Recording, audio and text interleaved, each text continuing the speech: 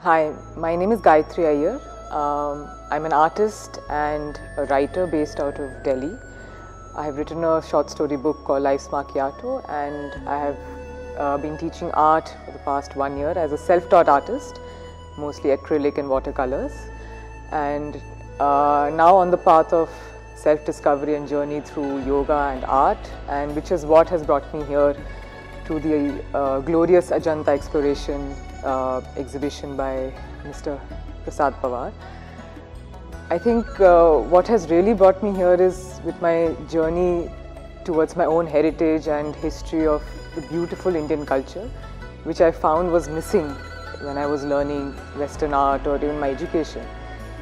And the Indian art is so beautiful and divine कि आप जैसे आप ये जो the biggest culture the Mahaparinirvana के सामने आप थोड़ी देर भी खड़े हो जाओ।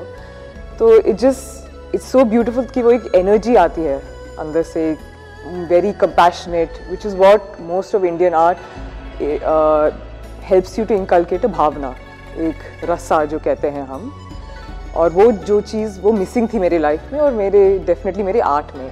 और इस एग्जीबिशन को देखकर यही एक रस्सा एक एकदम खुश, खुशी आती है when I see this art और एक bhavana of you know getting to know more about Indian history Indian culture and the heritage and इतनी ब्यूटिफुली ये जो एग्जिबिशन uh, किया है उन्होंने और focusing on very special stories and features of the whole caves not giving too much yet बहुत कम भी नहीं just the right amount to get you interested and you know make you want to travel to Ajanta tomorrow itself so I think is done a beautiful job and as a multi faceted painter, sculptor and a photographer, I think this is a fabulous job doing it for the past nine years and still having the motivation to do it without any help and just the whole uh, you know aspect of getting in touch with your own heritage and culture. जैसे उन्होंने कहा कि to you know learn Indian art, all you need to be is an Indian and it's you have it in your blood. आपको कहीं सीखने की ज़रूरत नहीं होती.